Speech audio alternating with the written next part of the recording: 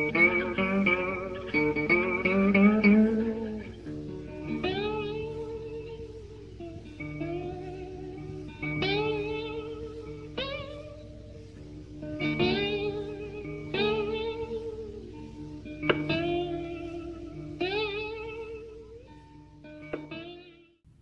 it was in my DNA. My mother is a drug addict. My father has a gambling addiction. My grandfather is was an alcoholic when he was alive. Uh, there are other. Uh, I have a brother uh, who's a drug addict. You know, uh, there's other people in my family um, addicts. Alcoholism runs in our family. There's a lot of alcoholics in my family, and some are also drug addicts. And then I think I think uh, it was in my genetics, and I think uh, being exposed to drugs and alcohol because you you know it wasn't it wasn't it wasn't that wasn't a big thing just you know to see somebody drinking. You know every every family event that we had, there's always alcohol, and I think uh, you know for it to be so so accepted in our family. I think it made it easier for me to start drinking. And then when I did start drinking, being you know, in my family, when you drank to excess, people didn't really see it as a problem because they were doing the same thing. Um, I grew up in South Phoenix, off of 16th Street and Roeser, in that area. Um, I grew up in the 70s, so yeah, it was, I would say it was, everybody smoked marijuana. I mean, you go outside and you could, you could smell it everywhere. Uh, and I remember at that time, I don't remember his name, but there was a doctor who was known to, uh, you pay him enough money, he would, he was prescribe you, they called them diet pills. Mhm. Those diet pills and uh, Valium was Mhm. big back then. And as far as uh, alcohol, I mean, it was it was common too. You know, Friday afternoons, you know, it was a working class neighborhood. You get off work and buy some beer and go home and drink.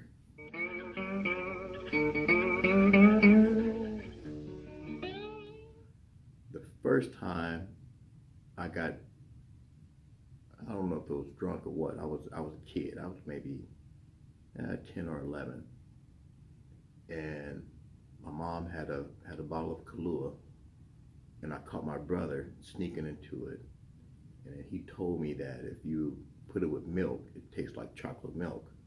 So that's what we did, you know, and it tasted like chocolate milk. And then she found out, and then she, I remember she made me take a take a straight shot of rum, and I got sick. I didn't like the feeling. I didn't I didn't drink again. I didn't even think about it until uh, high school. I was about 15 or 16, and I went out with a friend over some other guy's house, and they had some beer, and you know, I I got drunk, but I was so sick, I threw up.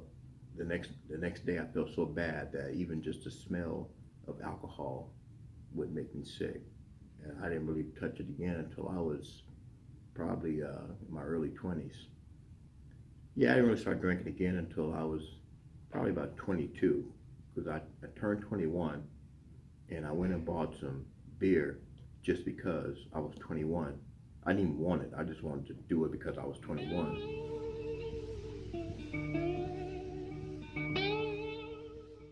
I would say when I first, yeah, when I first started, uh, in either one of them, you know, maybe the first couple weeks, the first month, I would call that the honeymoon phase. But I mean, it didn't, like I said, it only lasted a couple weeks or so. Then after that, it was, it was just, uh, I kept trying to, I kept trying to recapture that feeling. So I kept drinking and then I kept, you know, getting high uh, to get that feeling again, but it never, never came back.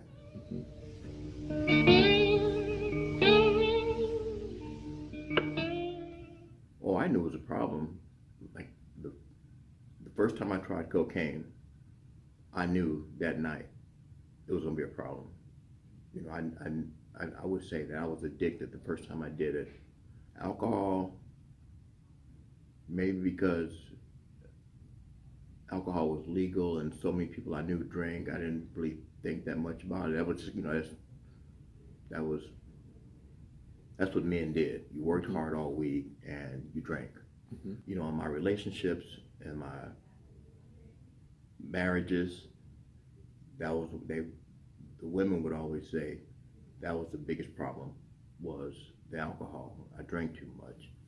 Um, I didn't, I, but I don't know. I, I really can't say that I saw it as, as a problem. You know, I was always always blamed uh, somebody else. It was something else. It was like, for example, my wife, ex-wife would say, "Oh, you drink too much." You know, uh, she would say it's a problem, but I would say like, "Well, no, it's not the problem. You're the problem." I, I was drinking when you met me. You knew what you know. You knew what it was, um, and you accepted it. So don't tell me to stop. Don't tell me it's a problem now. You know. Hmm. But uh, yeah, I, I never. Well, I never really. I never really. I, I, I never really saw it as a problem. I think I, I just got tired of doing it. Hmm. Yeah. So you know when I did decide to. When I went and got the help and actually decided to pay attention. Uh, it wasn't like I said, it wasn't so much that I thought it a problem in my life. It's that I was, I was tired of it. I was tired of the way it made me feel. I was tired of um, the effects it was having on my life. You know, my job, my relationships, how much money it was costing, and I just knew it was. I just felt like it, it was it was something better Mhm. there's something better out there for me. But I tell you, like what do you say, the the, the straw that broke the camel's back. Um, me and my wife at the time, we separated, and it was primarily because of the alcohol. And I found myself, I was living at a friend's house in a trailer in his backyard, right? I mean, it was, and it wasn't even a, a big trailer. I mean, it was a you know, this was the size of my bed, this couch right here. And I'm thinking, I'm thinking to myself, you know, what, what are you doing? And I remember laying there looking up and like, man, you know, what are you doing? You know, this is what your life has come to. You know, you, you're too smart. You make too much money. Um, at, at that time, I know I was, um, I was planning my whole, my whole life around drinking and getting high. You know, when I made a, a, financial budget, drugs and alcohol was in the budget, you know. And I just, you know, I, I sat there and I'm thinking, I'm like, man, this is, this is crazy. This is nuts. This is not the way you were raised. This is not what, this is not the life that, that, this is not why you were created. You know, God doesn't have you here to do this to yourself. You know, and but with addiction, man, I just couldn't. I couldn't stop. I mean, I, I, I couldn't. You know, I I couldn't stop drinking. I couldn't stop getting high. Like I said, even though I'm living in this tiny trailer in somebody's backyard, my life, my wife is ready to leave. She filed for divorce, and this was the reason why. But I still kept doing it.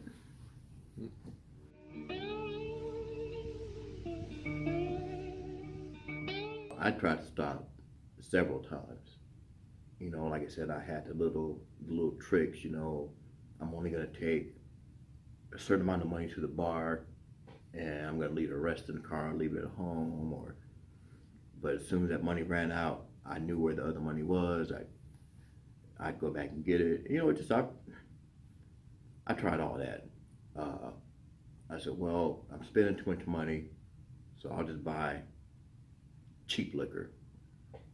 And, you know, you buy the cheap, I know, I bought a cheap liquor, and like, yeah, well, if I'm gonna get drunk, I might as well get drunk on something good, and then I go buy what I wanted. So, um,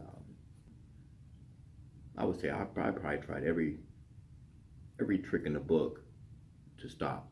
Mhm. You know, uh, actually, now let me let me I'm be honest. I don't think I was trying to stop.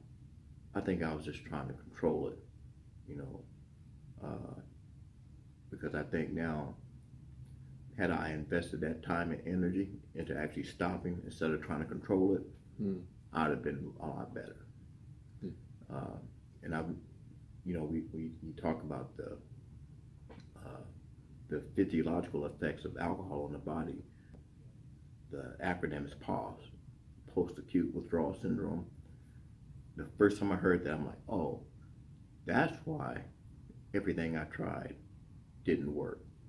Because I noticed, hey, I might be able to go a week, maybe a week and a half without drinking, but after that, something just came over me. And when I found out about PAWS, I'm like, oh, that's what that was. That's why, you know, I couldn't, uh, I couldn't do it on my own. Uh-huh. I might be able to go a week or ten days, but after that, it was Mhm. back to uh, my old lifestyle. The first time I, I learned about it, I was going through a through an IOP program, an outpatient program, and that's when I first learned about it.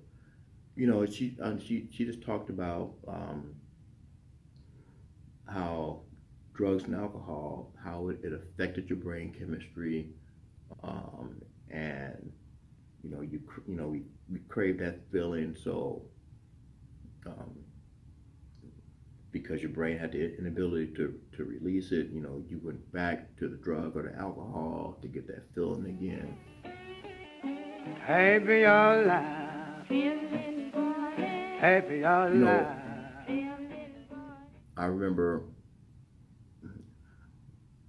there's a song there's, there's a guy his name is his name is Kem K-E-M now at the time I didn't know this but he had also suffered with alcoholism and he has a song called Heaven and one of the lyrics in the song is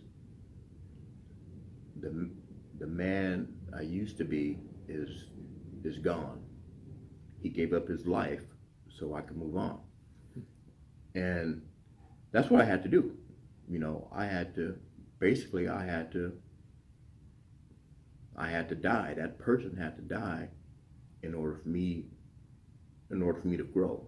And, you know, because I'm telling you, if, if I'd have, I don't know, you know, people talk about the grace of God, man, but I, I tell you, if uh, the road that I was on, it was only only the grace of God that kept me alive. I mean, some of the situations I put myself in, I mean, that, you know, somebody once told me that you don't mix, you don't mix cocaine and crystal meth, it'll kill you. Well, I thought that sounded like a good high to me. And so I mixed it. I mean, and I didn't die, right? So to a situation like that, man, that, that's that's only that's only the grace of God, you know, keeping me from killing my stupid self. You know, you know when when when all the, the medical studies say that hey this is dangerous and then I do it anyway, but I'm still here to talk about it. Mhm.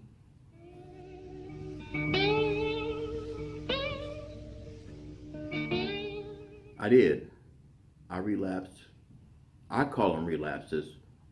Um, I would say there may have been in the past ten years. They there may have been three. Um, I think the longest one may have lasted um, maybe three weeks. Most of them are like you know a day or two. I remember, you know, I had, I went out I got drunk one night, and then I went to my dad's house the next day, and he told me, he said, um, okay, it happened. That was yesterday. There's nothing you can do about it. You know, just learn from it and move on.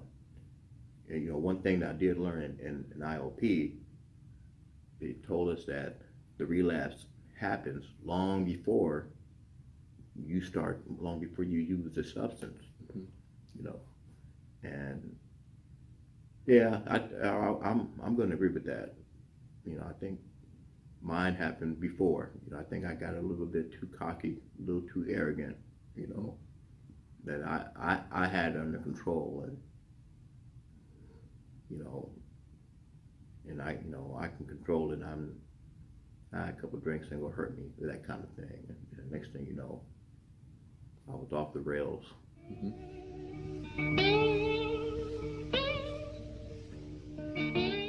Well, you know, I see God. I see God all, always there. And I, I'm for me, I'm gonna say when I when I stop listening, when I stop following direction, that's when this whole thing, you know, took a left. Um, you know, I'm, and you know, one one thing I, I when I, I I listen to other addicts, um, and I I mean I don't care if it's chemicals, uh, gambling, sex, food, whatever. They all seem to have. There's always one thing in common. There's always something inside of them that seems to be missing, and they try to fill that void with some outside substance. But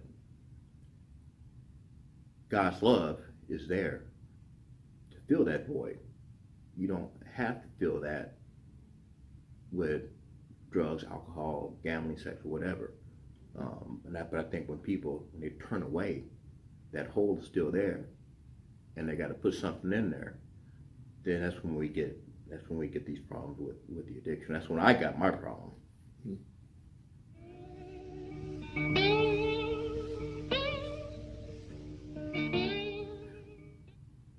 best thing you can do, um, they say the first step is to admit that you have a problem. You know, I was, you, admit you have a problem, and man, you got to depend on God, you know, for your strength and your power.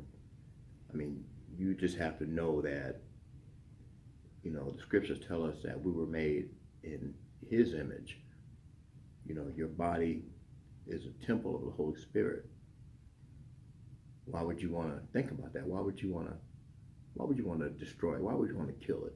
You know, you wasn't you wasn't made to be a drug addict, an alcoholic. Uh, you wasn't made to live that that type of uh, destructive lifestyle. You know, if you find yourself in that situation, I'm telling you, there's uh, there's nothing that you can do in your power to fix it. It's only through God's grace and mercy that you can be healed and this thing can be turned around.